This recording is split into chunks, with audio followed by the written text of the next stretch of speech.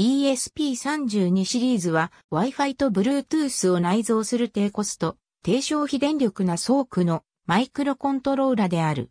Tensilica の Xtensa LX6 マイクロプロセッサを採用し、デュアルコアとシングルコア版のバリエーションがある。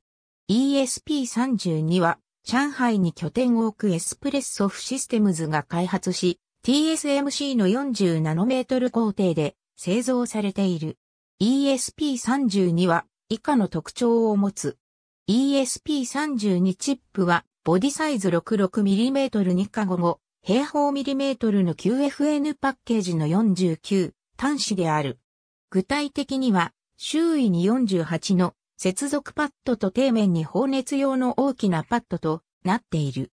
ESP32 モジュール基板は ESP 倉庫を内蔵し、他の基板上にに容易に実装できるように設計されている。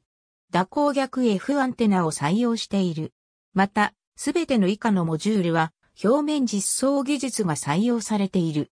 開発したい場合には、基板の延長配線を追加機能、サービス ESP32 モジュール基板としての使いやすさの開発目的を中心にブレッドボードを使用する。ESP32 ソーク独立に直接開発ボード、モジュール基盤を使用する。プログラミング言語、フレームワーク、プラットフォームな環境での使用のための ESP32 プログラミング。ありがとうございます。